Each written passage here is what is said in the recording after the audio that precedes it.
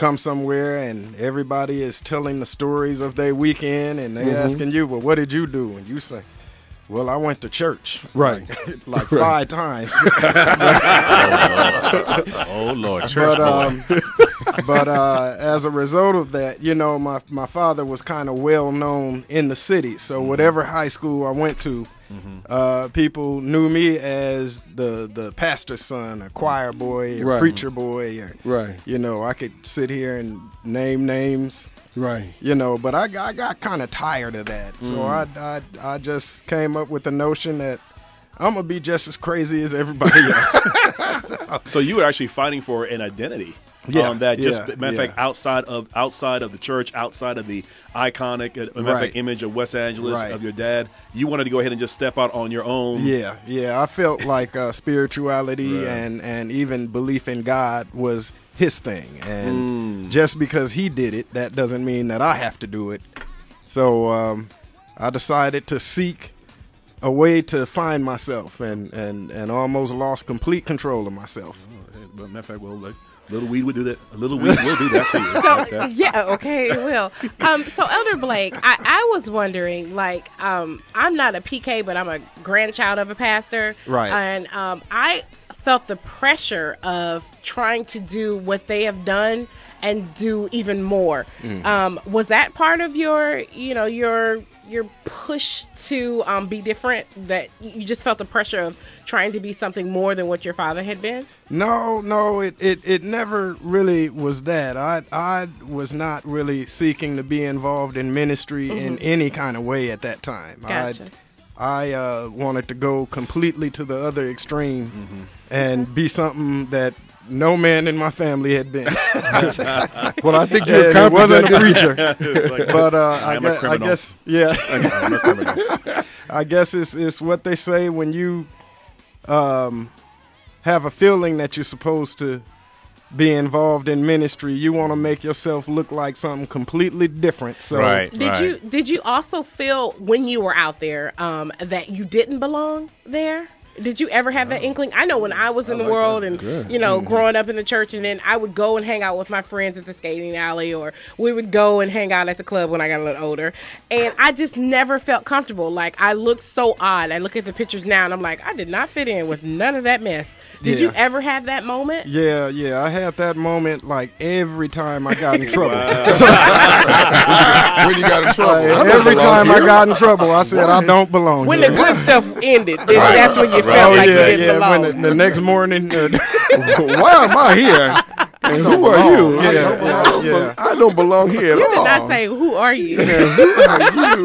Much Now, more. that wasn't me. No, that wasn't you. Larry Blake talks about that experience when he was in Atlanta, Georgia, and you got shot point blank. And Brother Steve comes back with the Brother Steve Power Jam Praise Bar. We're going to discuss what happened on that particular day that you were shot point blank with a gun. And your parents had to rush from California to come see about you. Brother Steve and the Power Jam Praise Party continues after this timeout.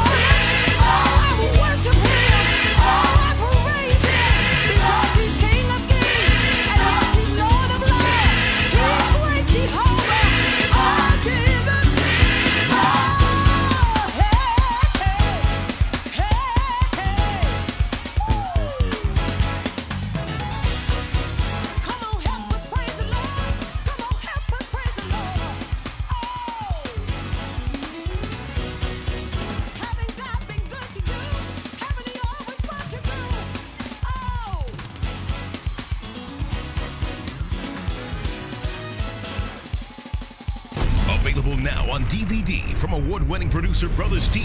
The Bonnie Brae House. The Tour. Experience the only DVD of its kind on Earth. Witness the most significant house in modern-day Pentecost. From the mind of William Seymour into the hands of Bishop Charles E. Blake. Scholars, saints, and professionals retell the story. See the house, learn the facts, and feel the anointing come right through your screen. From the Bonnie Brae House to your house. Fill us again. The Bonnie Brae House. The Tour. Get your copy today.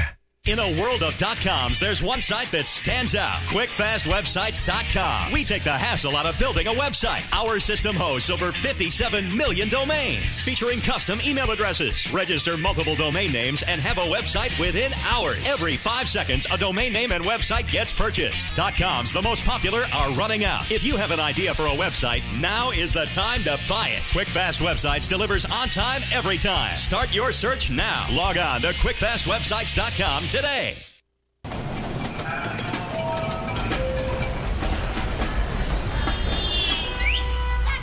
If you live in New York, you've learned to deal with surprises.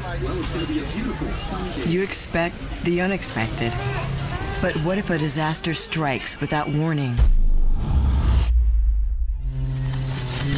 What if the New York you know and love has completely turned on its head?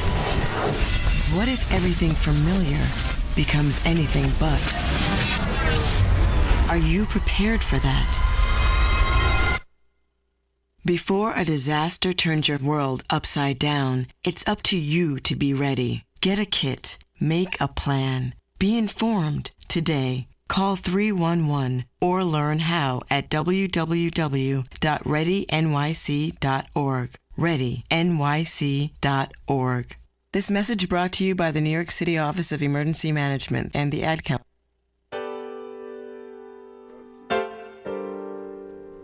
We're back with our very special guest this week on our program, and uh, it's uh, Elder Larry Blake, and uh, talking about the experience that he went through um, that, that, that changed his life. It took his life to a whole different direction, and um, I'm glad this song is playing in the background because it's when you had to like give up and submit yourself when um, the gun. Tell me about that that that that that moment when you were shot point blank.